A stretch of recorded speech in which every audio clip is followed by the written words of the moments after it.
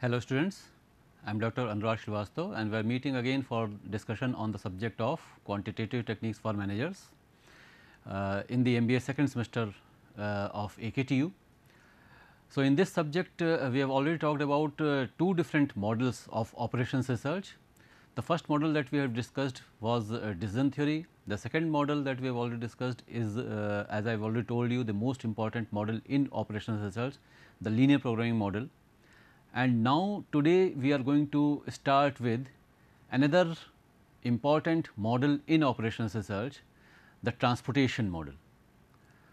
So, uh, uh, you know that we are discussing the second unit of this subject और second unit में दो models cover हो रहे हैं linear programming model और दूसरा मॉडल जो हम लोग अब देखेंगे ट्रांसपोर्टेशन मॉडल तो अगले कुछ सेशंस में we will be talking about the transportation model how we are going to use it what are the specific characteristics of it and how we proceed to finding the optimal solutions, solution using the transportation model.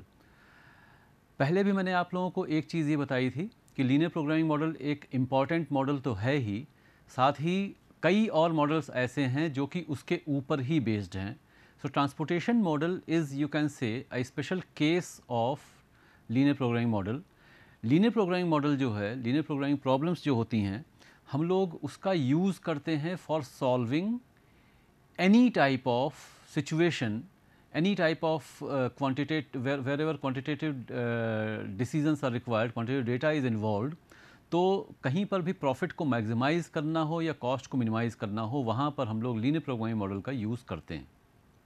तो वो एक general purpose model है और एक बहुत ही versatile model है और बहुत ही स्ट्रॉन्ग टूल एक है हमारे पास available in the field of operations research अब, लेकिन क्या होता है कि जब कोई भी टूल अगर जनरल पर्पज़ होता है तो जनरल पर्पज़ टूल को यूज़ करने के लिए कई जगहों पर उसको यूज़ तो कर सकते हैं, लेकिन फिर उसमें अलग अलग केसेस हो सकते हैं और उसको फिर कुछ स्पेसिफिक सिचुएशन में यूज़ करना थोड़ा कभी कभी मुश्किल हो सकता है। तो हमारे पास कुछ जनरल पर्पज़ औज़ार भी होते हैं और कुछ स्पेसिफिक टूल्स होते हैं, जो कि हम एक, जो कि जिसको कि हम लोग जनरल पर्पज़ को मॉडिफाई करके जनरल पर्पज़ टूल को मॉडिफाई करके कुछ स्पेसिफिक टूल्स बना सकते हैं तो उनको यूज़ करना कुछ उस पर्टिकुलर सिचुएशन में आसान हो जाता है। तो जनरल पर्पज़ टूल्स का फ़ायदा ये है कि उनको कई जगहों पे यूज़ कर सकते हैं, लेकिन उसका नुकसान ये होता है कि उसको यूज़ करना थोड़ा मुश्किल हो सकता है, क्योंकि उसके कई सारे यूजेज़ हैं। तो एक तो ये फिर जान पाना थोड़ा मुश्किल हो सकता है कि कौन सा यूज़ कब करना है और जब कई यूज़ होंगे तो उनको उस, उसमें कई सारे तरीके हो सकते हैं उसको यूज़ करने के तो उसमें से कौन सा तरीका कब यूज़ करेंगे ये मुश्किल समझना हो सकता है। दूसरी तरफ़ जो स्पेसिफिक पर्पज़ टूल्स होते हैं, जैसे ट्रांसपोर्टेशन मॉडल उस तरह का एक टूल है तो उसमें क्या होगा कि उसको हमने जनरल पर्पज़ टूल को थोड़ा सा मॉडिफाई कर दिया और एक स्पेसिफिक पर्पज़ के लिए उसको डेवलप कर लिया। तो अब उसका लिमिटेशन तो ये हो गया कि उसी स्पेसिफिक सिचुएशन में ही वो यूज़ हो पाएगा और कहीं यूज़ नहीं होगा। ये एक लिमिटेशन ज़रूर है, लेकिन उसका फ़ायदा ये होता है कि उस पर्टिकुलर सिचुएशन में वो टूल कंपेरेटिवली आसान हो जाता है आपको यूज़ करने के लिए। तो this is the benefit of transportation model benefit as well as limitation तो ट्रांसपोर्टेशन मॉडल क्या है? जिस तरह से अगर किसी भी तरह की कॉस्ट को मिनिमाइज़ करना हो या किसी भी तरह के प्रॉफिट को मैक्सिमाइज़ करना हो, वहाँ हम एलपी यूज़ करते हैं लीनर प्रोग्रामिंग यूज़ करते हैं अब स्पेसिफिकली कॉस्ट और वो भी ट्रांसपोर्टेशन कॉस्ट कॉस्ट की ही सिचुएशन है, यानी कि मिनिमाइज़ ही करना है और वो भी एक स्पेसिफिक तरीके की कॉस्ट कॉस्ट भी कई तरीके की हो सकती हैं. तो ट्रांसपोर्टेशन कॉस्ट को ही मिनिमाइज़ करने की अगर बात हो रही है तो ऐसी जगहों के लिए हमारे पास या ऐसे यूसेजेस के लिए हमारे पास ये अलग एक मॉडल है ट्रांसपोर्टेशन मॉडल जिसको कि इसीलिए डेवलप ही किया गया है कि हम ट्रांसपोर्टेशन कॉस्ट को मिनिमाइज़ कर सकें। तो जहाँ पर भी ऐसी सिचुएशन हमको मिलती है, जहाँ ट्रांसपोर्टेशन कॉस्ट को मिनिमाइज़ करना है, वहाँ पर लीनियर प्रोग्रामिंग मॉडल भी यूज़ हो सकता है। लेकिन उससे बेहतर होगा कि हम, उससे आसान हो पड़ेगा कि अगर हम उसको ट्रांसपोर्टेशन मॉडल को यूज़ करें। तो ट्रांसपोर्टेशन मॉडल को यूज़ करने से आसान हो जाएगा लीनियर प्रोग्रामिंग मॉडल यूज़ होगा तो यूज़ करेंगे तो वो थोड़ा मुश्किल पड़ेगा हमको। और लेकिन लिमिटेशन क्या है कि ट्रांसपोर्टेशन कॉस्ट को ही मिनिमाइज़ करने के लिए इसको यूज़ किया सकता है और किसी सिचुएशन में इसको यूज़ नहीं किया सकता है। तो खैर, इसको हम लोग अब थोड़ा सा आगे बढ़ते हैं और इसको समझते हैं कि ट्रांसपोर्टेशन मॉडल है क्या और कैसे इसमें हम प्रोसीड करते हैं, किस तरह की सिचुएशन को हम हैंडल कर सकते हैं। सो आर ट्रांसपोर्टेशन मॉडल और transportation problem in short T P can be solved by the simplex method but its application would make the problem very unmanageable यहाँ पर वेरिएबल्स अभी एक एग्ज़ाम्पल लेकर के भी थोड़ा सा उसको ये भी देखें कि अगर हम एलपी यूज़ करेंगे तो कहाँ पे कैसे इसको बढ़ सकते हैं और ये देखेंगे कि it can become very unmanageable unmanageable term का मतलब थोड़ा समझना ज़रूरी है। अनमैनेजेबल का मतलब अनसॉल्वेबल नहीं है। कोई भी चीज़ हो, किसी भी तरह की प्रॉब्लम हो लीनियर प्रोग्रामिंग से भी सॉल्व हो जाएगी। और ट्रांसपोर्टेशन प्रॉब्लम है तो ट्रांसपोर्टेशन मॉडल से सॉल्व हो ही जाएगी। अनमैनेजेबल का मतलब ये है कि प्रॉब्लम इतनी लेंदी हो सकती है, इतनी कॉम्प्लेक्स हो सकती है कि उसको मैनुअली सॉल्व करना बहुत कॉम्प्लेक्स होगा, बहुत टाइम टेकिंग होगा और दिक्कत कर सकता है। एक चीज़ ये भी समझ लें कि अगर हम एक ट्रांसपोर्टेशन मॉडल प्रॉब्लम को मैन्युअली सॉल्व ना करना हो तो उसे हम एलपी से भी सॉल्व कर सकते हैं और कंप्यूटर सॉफ्टवेयर के थ्रू सॉल्व कर सकते हैं। वो फिर, वो कंप्यूटर तो सॉल्व कर ही देगा उसको। आप उसने, आपने अगर उस फॉर्म में उसको फॉर्मुलेट कर दिया है। तो मैन्युअली भी लेकिन हम आसानी से उसको सॉल्व कर सकते हैं सकें। इसके लिए ट्रांसपोर्टेशन मॉडल हमें काम आता है। तो transportation problem along with the assignment problem अगला इसके बाद जो हम लोग देखेंगे यूनिट थ्री में वो टॉपिक एक्चुअली है। लेकिन ये समझ लें कि लीनियर प्रोग्रामिंग को ही मॉडिफाई करके ट्रांसपोर्टेशन मॉडल बनता है और ट्रांसपोर्टेशन मॉडल को मॉडिफाई करके असाइनमेंट मॉडल बनता है। तो ये दोनों उसके ही मॉडिफिकेशंस हैं। ये दोनों ही इनका दो, दोनों का जो रूट है वो एलपी में ही है। एलपी अगर ठीक से समझ में आ गया तो इनको समझना कंपेरेटिवली आसान हो जाता है, क्योंकि बेसिक जो प्रोसेस है वो वैसा ही है जैसा लीनियर प्रोग्रामिंग में यूज़ करते हैं। बेसिक प्रोसेस यानी कि वहाँ पे हम क्या कर रहे थे कि एक इनिशियल सोल्यूशन से शुरू करते हैं और उसको धीरे धीरे इम्प्रूव करते जाते हैं। तो वैसा ही कुछ अप्रोच यहाँ पर भी हम यूज़ करते हैं ट्रांसपोर्टेशन में भी। वैसा ही अप्रोच हम असाइनमेंट में भी यूज़ करते हैं। तो the transportation problem along with the assignment problem is a special type of linear programming problem P P therefore we have special purpose algorithms for them algorithm step by step process जो होगा, वो एक special तरीके का develop हम लोग वहाँ पे कर लेते हैं। The transportation problem is use for minimizing transportation cost specifically लेकिन जैस, जिस तरह का एक ये मॉडल है जिसमें हम ट्रांसपोर्टेशन कॉस्ट को मिनिमाइज़ करते हैं तो वैसे उस तरह की मिलती जुलती सिचुएशंस कुछ और भी हो सकती हैं। तो वहाँ पर भी ट्रांसपोर्टेशन प्रॉब्लम का जो जो प्रोसेस है, वो हम यूज़ कर सकते हैं। और लो therefore the algorithm can be applied on some other types of problems also जैसे प्रोडक्शन शेड्यूलिंग एक बहुत इंपॉर्टेंट एरिया है, जहाँ पर कि ट्रांसपोर्टेशन मॉडल का यूज़ काफ़ी किया जाता है। प्रोसीडिंग तो अब इसको थोड़ा सा ऐसे समझ लें।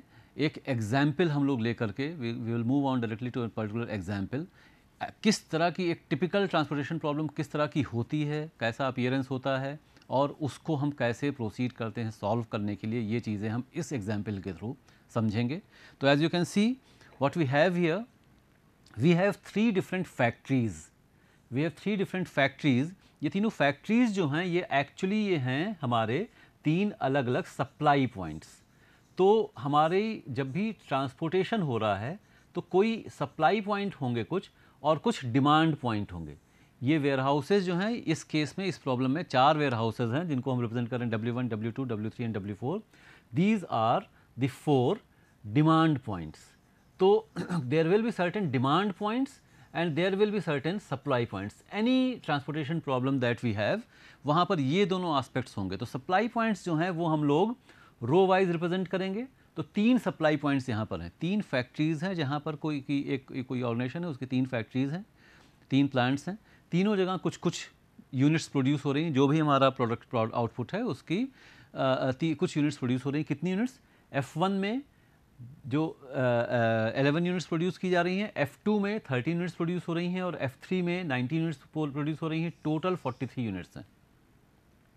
इसी तरीके से अब ये प्रोड्यूस होकर के फिर अलग अलग जोग्राफिकल लोकेशंस पे हमारे चार वेयर हाउसेज हैं। चार warehouses W one W two W three W four ये चार वेयर हाउसेज हैं। इन चारों पर जो कैपेसिटी है स्टोरेज कैपेसिटी स्टोरेज कैपेसिटी हाँ इस कैपेसिटी की बात नहीं हो रही यहाँ पे स्टोरेज कैपेसिटी तो वही उन तरह की डिमांड एक तरह से हो गई। तो वो six units ten units twelve units और fifteen units again the total is forty three units ये है। तो हमें करना क्या है? हम अलग अलग फैक्ट्रीज़ पे कुछ कुछ यूनिट्स प्रोड्यूस कर रहे हैं। उन यूनिट्स को प्रोड्यूस करने के बाद अलग अलग वेयर हाउसेज में उनको ट्रांसपोर्ट कर रहे हैं। इन ट्रांस वेयर हाउसेज में जो ट्रांसपोर्ट करने की जो पर यूनिट ट्रांसपोर्टेशन कॉस्ट है, वो ये दी हुई है। तो F1 से W1 अगर एक यूनिट भेजेंगे तो 21 if is let's just assume कि ये रुपीज़ है तो इक्कीस रुपये की कॉस्ट आ रही है एक यूनिट की। दो यूनिट भेजेंगे तो 21 वन इंटू टू तीन यूनिट तो 21 वन इंटू थ्री ये छः की छः यूनिट्स यहाँ अगर हम भेज दें तो 21 वन इंटू सिक्स हो जाएँगी। ठीक है? इसी तरह से F1 से W2 भेजने की जो पर यूनिट कॉस्ट है, वो सोलह रुपये है। F1 से W3 भेजने की जो पर यूनिट कॉस्ट है, वो ट्वेंटी फाइव रुपीज़ है। अभी बारह की बारह यूनिट्स अगर हम यहाँ भेज दें ट्वेंटी फाइव ट्वेल्व यूनिट्स हो जाएगी, लेकिन क्या है कि यहाँ पर F1 पे अवेलेबिलिटी कितनी है? वो केवल 11 यूनिट्स की है, केवल 11 यूनिट्स की है। तो 12 तो आप भेज नहीं सकते। ये चीज़ हमको ध्यान रखनी पड़ेगी ऑब्वियसली तो अब है क्या ऐसा कोई रिस्ट्रिक्शन नहीं है यहाँ पर हमारे पास, हमारे ऊपर, कि किस फैक्ट्री से किस वेयरहाउस हमें क्या भेजना है? केवल हमें ये देखना है, क्योंकि सारी जो भी यहाँ पर जो रिक्वायरमेंट्स हैं, वो सेम हैं। जो भी यहाँ पे चूज़ प्रोड्यूस हो रहा है, वो सेम हो रहा है। अलग अलग चीज़ें नहीं प्रोड्यूस हो रही हैं। इतनी चीज़ें जो प्रोड्यूस हो रही हैं। कोई यहाँ पे 11 यूनिट्स अलग चीज़ है 13 यूनिट्स अलग चीज़ है 90 यूनिट्स अलग है, ऐसा कुछ नहीं है। तो सेम चीज़ प्रोड्यूस हो रही है सेम वही रिक्वायरमेंट है। तो केवल एक कंसिडरेशन है कि जो टोटल कॉस्ट आएगी ऑब्वियसली अगर आप F1 से W1 भेज रहे हैं तो इक्कीस रुपये पड़ रहा है एक यूनिट भेजने का। F1 से W2 भेज रहे हैं तो कम पड़ रहा है। F1 से W4 भेज रहे हैं तो और कम पड़ रहा है। तो कितनी यूनिट्स कहाँ से कहाँ पे भेजी जाएँ जिससे कि जो टोटल कॉस्ट आ रही है वो मिनिमाइज हो जाए, ये है ट्रांसपोर्टेशन प्रॉब्लम का ऑब्जेक्टिव अब आप समझ सकते हैं कि यही सिचुएशन इस तरह की सिचुएशन हम लोग लीनियर प्रोग्रामिंग में भी हैंडल कर सकते हैं। वहाँ पर भी ऐसा ही कुछ था। वहाँ पर क्या था? कुछ कॉन्स्टेंट्स थे। यहाँ और कुछ ऑब्जेक्टिव था। ऑब्जेक्टिव वहाँ पर भी कॉस्ट मिनिमाइज़ करने का भी हो सकता है। यहाँ पे भी कॉस्ट मिनिमाइज़ करने का ऑब्जेक्टिव है। लेकिन अब दिक्कत क्या है? दिक्कत ये है कि वहाँ पर suppose we are producing two different products और थ्री डिफरेंट प्रोडक्ट्स और फाइव डिफरेंट प्रोडक्ट्स तो पाँच वेरिएबल्स हो गए। यहाँ पे वेरिएबल कितने हैं? तीन फैक्ट्रीज़ हैं, चार वेयर हाउसेज हैं three into four there are in all twelve variables एक वेरिएबल आपको जब बताना है एफ़ वन से डब्ल्यू वन कितना भेजा जाए? एक वेरिएबल हो गया। एफ़ वन से डब्ल्यू टू कितना भेजा जाए? दूसरा वेरिएबल हो गया। एफ़ वन से डब्ल्यू थ्री कितना? तीसरा वेरिएबल इस तरह से करके इन और there in all there are twelve variables बारह तो वेरिएबल हो गए। कॉन्स्टेंट्स क्या क्या हैं? जो तीनों फैक्ट्रीज पे जो सप्लाई है, या जो अवेलेबिलिटी है, वो कांस्टेंट है। चारों वेयर हाउसेज पे जो रिक्वायरमेंट या डिमांड है, वो कांस्टेंट है। तो तीन कांस्टेंट इधर, चार कांस्टेंट इधर, सात कांस्टेंट्स हो गए। देर आर सेवन कांस्टेंट्स तो you can see if you try to if you are going we are going to try to use linear programming model for solving this uh, particular problem तो लंबी कितनी हो जाएगी? हम लोगों ने जो भी कुछ दो क्वेश्चंस देखे थे लीनियर प्रोग्रामिंग में तो उसमें पहला क्वेश्चन जो देखा था उसमें दो वेरिएबल थे दो कांस्टेंट्स थे। दूसरा क्वेश्चन जो हम लोगों ने देखा था मिनिमाइजेशन का उसमें दो वेरिएबल्स थे तीन कांस्टेंट्स थे। यहाँ पर बारह वेरिएबल्स हैं सात कांस्टेंट्स हैं। Theoretically it is possible to use linear programming problem चाहे जितने भी कॉन्स्टेंट्स हों, चाहे जितने भी वेरिएबल्स हों, उससे कोई दिक्कत नहीं है, आप यूज़ उसको कर सकते हैं। लेकिन हम लोग जब कॉलम्स बना रहे थे वहाँ पर और जो पाँच, तीन दो कॉन्स्टेंट्स दो सॉरी दो वेरिएबल्स वाली भी जो प्रॉब्लम थी, उसमें चार वेरिएबल्स एक्स्ट्रा हम यूज़ कर रहे थे तो छः वेरिएबल्स हो गए थे। यहाँ पर भी और वेरिएबल्स और हो जाएँगे तो कितनी बड़ी टेबल बनेगी, अगर हम सिंप्लेक्स मेथड यूज़ करेंगे। This would make this problem you can say in a way unsolvable practically unsolvable using linear programming तो उसके लिए क्या किया गया? हमने एक स्पेसिफिक तरीका और it will it is much easier than the linear programming model उसको हमने यहाँ पर डेवलप किया और उसका यूज़ करके uh, यहाँ पर हम इस प्रॉब्लम को सॉल्व करेंगे। कैसे? आगे इसको और समझते हैं। बेसिक तरीका वही है। वहाँ पर हम क्या कर रहे थे? वहाँ पर हम एक इनिशियल सोल्यूशन ले रहे थे।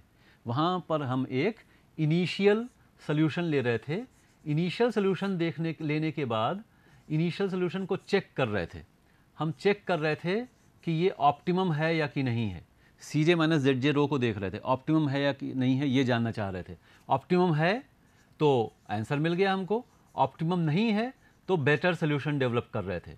अगर ऑप्टिमम नहीं है तो हम एक बेटर सोल्यूशन डेवलप कर रहे थे, बेटर सोल्यूशन डेवलप करके और फिर से हम उसको चेक कर रहे थे।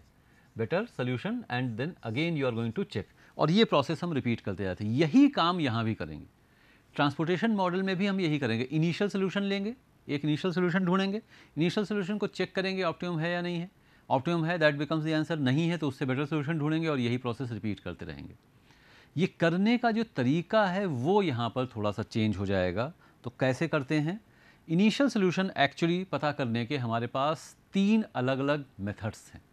तो पहले तो हम ये समझेंगे कि इनिशियल सोल्यूशन कैसे निकाला जाए। इनिशियल सोल्यूशन निकालने के तीन मेथड्स हैं और तीन मेथड्स इसलिए हैं। एक्चुअली क्या है कि जो इनिशियल सोल्यूशन निकालेंगे, उस पर डिपेंड करेगा कि आप अपने ऑप्टिमम सोल्यूशन तक कितनी आसानी से पहुँच सकते हैं, कितनी जल्दी पहुँच सकते हैं। इस पॉइंट को और थोड़ा समझेंगे। पहले, जो पहला मेथड है the north west corner rule उसको समझ लेते हैं। स्टेप्स कुछ दिए हुए हैं और इन स्टेप्स को अभी उसी प्रॉब्लम को लेकर के इसको थोड़ा अच्छे से समझेंगे हम लोग। सेलेक्ट द नॉर्थ वेस्ट और upper left corner cell allocate as many units as possible adjust supply and demand figures in the respective rows and column if row supply is exhausted, move down one row. If columns demand is exhausted, move move right one column. Repeat these steps till the total available quantity is fully allocated. तो ये steps तो हैं, लेकिन इनको use कैसे करेंगे, वो देख करके हम लोग इसको समझ लेते हैं। तो ये है प्रॉब्लम हमारी। जो कॉस्ट थी उनको हमने कोने में शिफ्ट कर दिया है, जिससे कि हम बाकी जगह लिख सकें। यहाँ पर अगर हम फाइव लिख देंगे, यहाँ पे हम अगर टेन लिख देंगे तो इसका मतलब है एफ़ वन से डब्ल्यू वन उतनी यूनिट्स ट्रांसपोर्ट की जा रही। कोई सेल खाली है तो इसका मतलब है वहाँ से उस पर्टिकुलर फैक्ट्री से उस पर्टिकुलर वेयर हाउस कुछ भी नहीं ट्रांसपोर्ट किया जा रहा है। तो कैसे प्रोसीड करेंगे? नॉर्थ वेस्ट कॉर्नर की बात हो रही थी। नॉर्थ वेस्ट कॉर्नर ये वाला सेल है। तो सबसे पहले हमें उस सेल में पहुँचना है। ठीक है? तो this is the north west corner cell इस सेल में जो मैक्सिमम पॉसिबल एलोकेशन है, वो हम करेंगे। मैक्सिमम कितना हो सकता है? मैक्सिमम क्या हो सकता है? यहाँ पे रिक्वायरमेंट कितनी है? सिक्स यहाँ पे डिमांड यहाँ पे अवेलेबिलिटी है एलेवन तो इसमें से जो कम होगा, वही ऑब्वियसली हम भेज सकते हैं। एफ़ वन से एलेवन यूनिट्स भेजी तो जा सकती हैं, लेकिन डब्ल्यू वन पर रख तो छः यूनिट सकते हैं। तो इसलिए दोनों में से जो लेस होगा, वो यहाँ आ गया सिक्स ये ख़त्म हो गया। सिक्स यूनिट्स एग्जॉस्ट हो गई। और 11 को हमने रिवाइज कर दिया, अब यहाँ पे हो गया 5 क्योंकि ये कॉलम ख़त्म हो गया, एग्जॉस्ट हो गया है तो अब हम लोग इधर मूव करेंगे। और इस सेल में अब क्या होगा, यहाँ पे 5 है, यहाँ पे 10 है, दोनों में जो छोटी वैल्यू है 5 यहाँ आ गई। ये 5 ख़त्म हो गया और 10 में से बचा कितना? 5 अब क्योंकि ये रो एग्जॉस्ट हो गई, इसलिए अब हम नीचे मूव करेंगे। नीचे मूव करके हम आ गए इस सेल में, यहाँ पे 5 और 13 में से जो छोटी वैल्यू है 5 वो यहाँ आ जाएगी। 13 की जगह हो गया 8 और 5 एग्जॉस्ट हो गया। नीचे ख़त्म हो चुका है, इसलिए अब हम इधर मूव करेंगे। इधर मूव करके 8 इधर है 12 इधर है, दोनों में छोटी वैल्यू 8 ये एग्जॉस्ट हो गया और यहाँ बचा 4 अब हम इधर नहीं जा सकते तो फिर नीचे आएँगे। नीचे आ गए, यहाँ पे 4 है, यहाँ 19 है, दोनों में से छोटी वैल्यू 4 इधर आ गई, फिर इधर गए और ये फोर तो ख़त्म हो चुका है 19 में से 15 बचा 15 and 15 here we get 15 this is how we make the allocation in the north west corner rule ये आ गया। और इसके बेसिस पर अब हम टोटल कॉस्ट निकाल सकते हैं total cost 21 one into sixty twenty one into six plus sixteen into five ये तो ज़ीरो हो गया, ये ज़ीरो हो गया, zero plus eighteen into five plus fourteen into eight zero zero zero plus eighteen into four plus fifty one forty one into fifteen जो total cost अभी हमें मिल रही है, ये है one zero nine five this is the initial solution by the north west corner rule north west corner rule से initial solution ये हमको मिल गया। इनिशियल सोल्यूशन के बाद इसको ऑप्टिमाइज करने का तरीका वही है। क्या है? पहले निकाला इनिशियल सोल्यूशन चेक किया ऑप्टिमम है कि नहीं है? ऑप्टिमम है तो आंसर मिल गया। चेक चेक ऑप्टिमलिटी तो आंसर मिल गया हमको। अगर ऑप्टिमम नहीं है तो फिर हम इसको बेटर करेंगे। अगर ऑप्टिमम नहीं है तो इसको हम बेटर करेंगे। No to find a better solution better solution और इसको चेक करते जाएँगे। तो ये जो तरीका है, इसके लिए अभी हम लोग और मेथड देखेंगे। इनिशियल सोल्यूशन निकालने का एक तरीका नॉर्थ वेस्ट कॉर्नर रूल ये है। दूसरा मेथड थोड़ा सा ये समझेंगे हम लोग अब the least cost method north west corner rule की एक छोटी सी लिमिटेशन है, उसकी एक एडवांटेज है कि बहुत ही सिंपल तरीका है, आसानी से कर सकते हैं हम, कुछ भी ज़्यादा कुछ इधर उधर नहीं किया, एक तरह से शुरू किया और एलोकेशन कर दिया।